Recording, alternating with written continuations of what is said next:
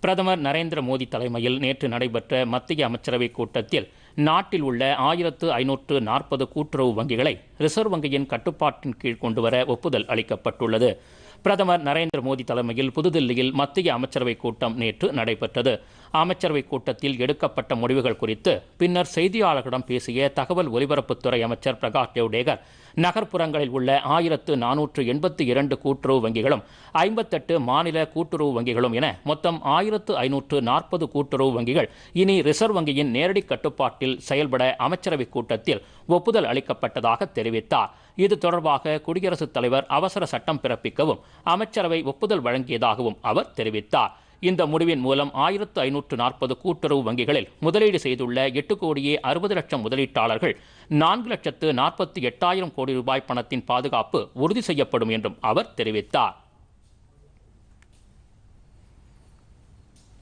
मुद्रा लोन्स आपको पता है लगभग 18 से 20 करोड़ लोगों को मिले ये सबसे बड़ा स्मॉल लोन प्रोग्राम है एक तरह से दुनिया का सबसे बड़ा स्मॉल बैंक लोन का प्रोग्राम है। इसके अंतर्गत एकदम ही छोटा जिसका पचास हज़ार तक का लोन होता है,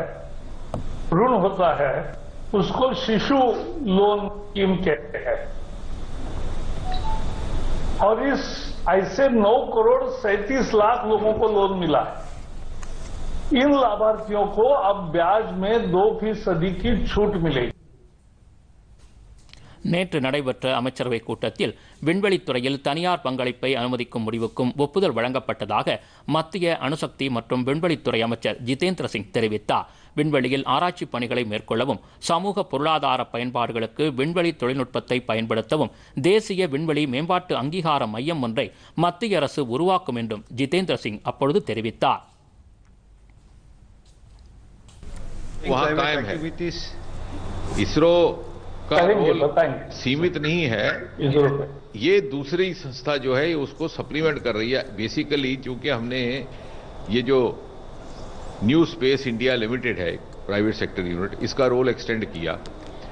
टू फैसिलिटेट प्राइवेट पार्टिसिपेशन अब उस सारे को कैसे रेगुलेट करना और समन्वय बनाना उसके लिए एक नई संस्था नई संस्था एक ही बनी है और वो कोई अलग से साइंटिफिक संस्था नहीं है। इसका नाम ही है Indian National Space Promotion and Authorization Centre तो ये सबको जोड़ करके जो भी प्लान्स बनेंगे कैसे चलाने आगे और अब उसका मैकेनिज्म अभी उसकी रचना हो रही है மத்திய அமைச்சரவைக் கூட்டத்தில் எடுக்கப்பட்ட முடிவுகள் குறித்து பேசிய கால்நடை பராமரிப்புத்துறை அமைச்சர் கிரிராஜ் சிங் பால் கோழிப்பண்ணை தொழில்கள் மற்றும் இறைச்சி பதப்படுத்துதல் தொழில்களுக்கான கட்டமைப்புகளை மேம்படுத்துவதற்கு பதினைந்தாயிரம் கோடி ரூபாய் ஒதுக்கீடு செய்ய ஒப்புதல் அளிக்கப்பட்டதாக தெரிவித்தார் वाले दिन में हम जो ग्रामीण भारत,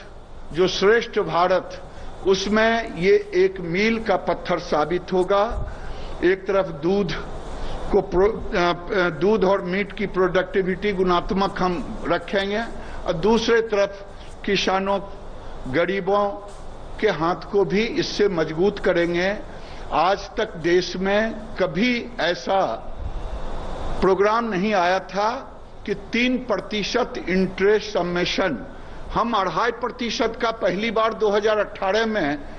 कोऑपरेटिव सेक्टर के लिए लाए थे दस हजार करोड़ का பொதிகை செய்திகளை யூடியூபில் தமிழ் நியூஸ் தூர்தர்ஷன் என்ற சேனலிலும் முகநூலில் டிடி பொதிகை நியூஸ் என்ற பக்கத்திலும் ட்விட்டரில் டிடி நியூஸ் சென்னை என்ற பக்கத்திலும் இன்ஸ்டாகிராமில் டிடி பொதிகை நியூஸ் என்ற பக்கத்திலும் காணலாம் மேலும் உங்கள் கருத்துக்களை Podhigai DD news at Gmail dot com என்ற மின்னஞ்சலில் தெரிவிக்கலாம்.